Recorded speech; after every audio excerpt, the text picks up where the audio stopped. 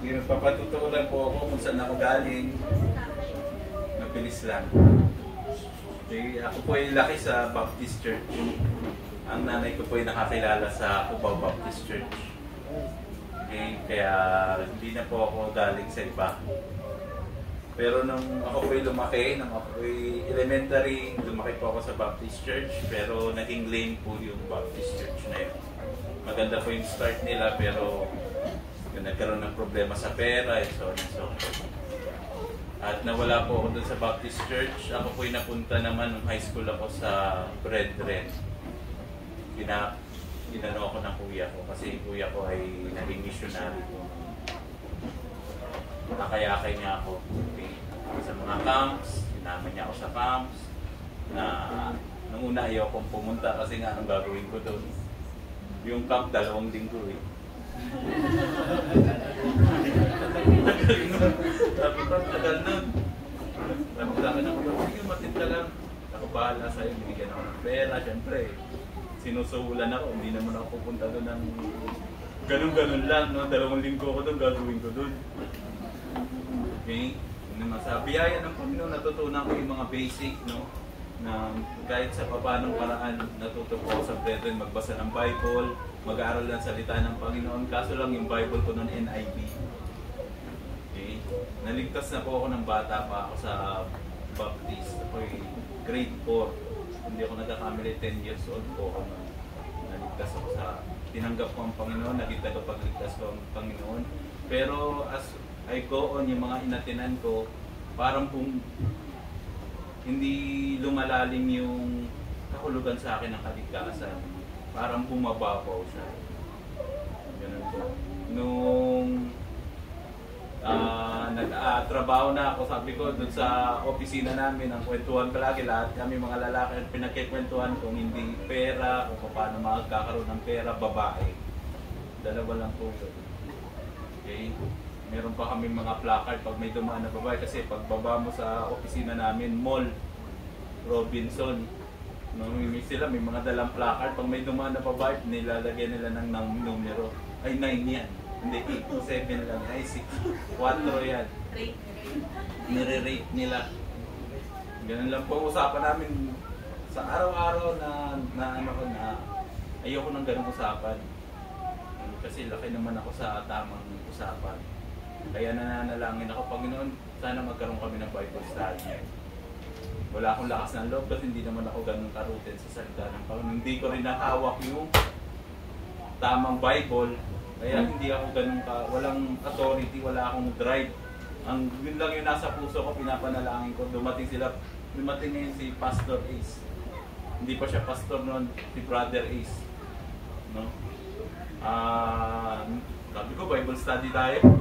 Sabi niya, sige. Siya yung may drive eh. Kasi nasa kanya yung tamang authority. Kasi nasa, siya ay nasa baptist.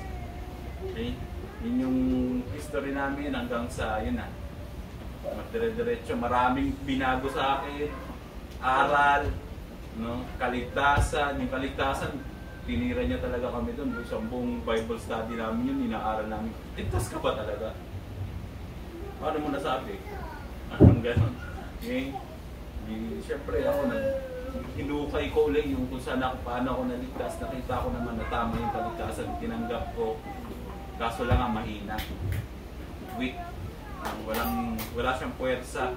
Wala siyang lakas kasi hindi siya nakaroot sa tamang salita ng Panginoon.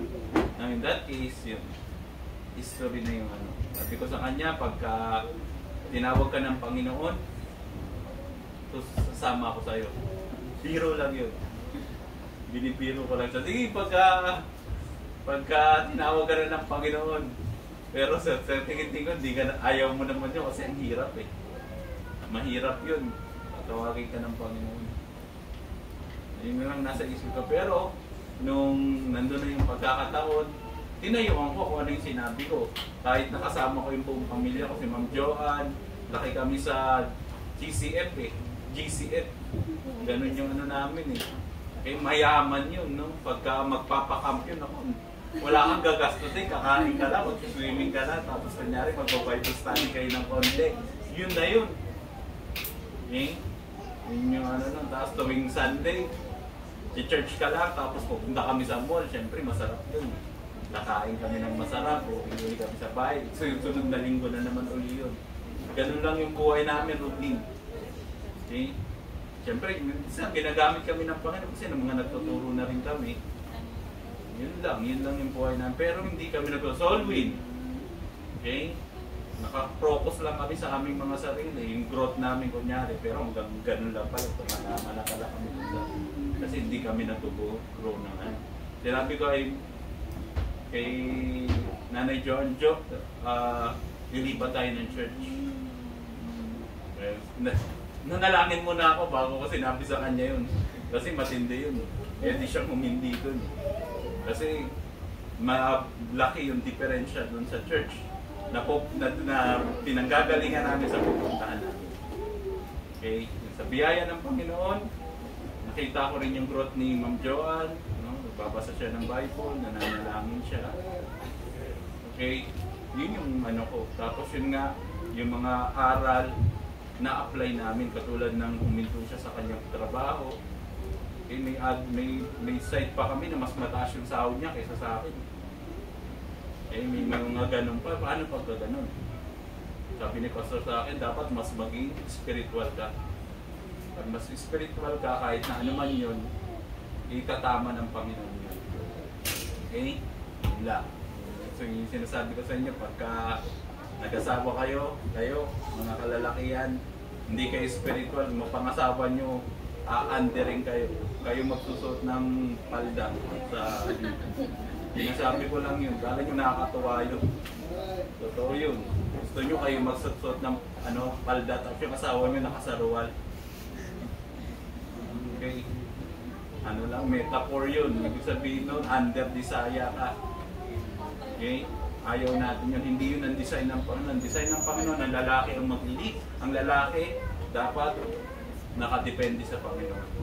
Ang babae susunod sa lead ng kanyang asawa kasi nagtitiwala siya sa Diyos. Okay? Yun lang. Wala nang gusto na mapatagal. Amen.